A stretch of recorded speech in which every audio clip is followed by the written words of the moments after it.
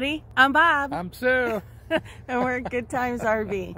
Having another good time. So, we sure are. We're wrapping up our trip and we're about to head to our final destination.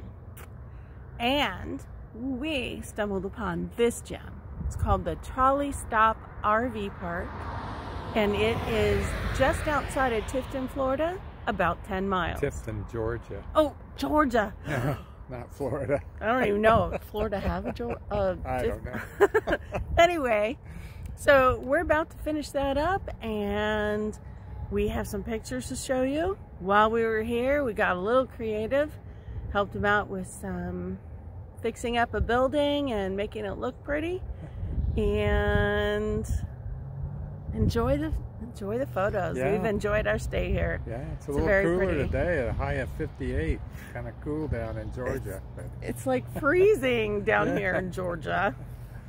I know yeah. that sounds funny, but yeah. is it such a thing as freezing? Anyway, it's this is a great RV park. It's uh, privately owned. They've done a lot of work to bring it up to bring up their standards. It's it's really a pretty place. Big grass sites. The the uh, nightly rate is very reasonable.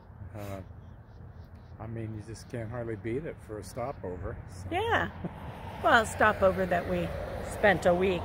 Well, yeah. I mean, yeah. but a week just didn't seem like it was long enough. Uh -uh. Well, we miss you, Georgette and Boris, and wish you guys were here to say hey.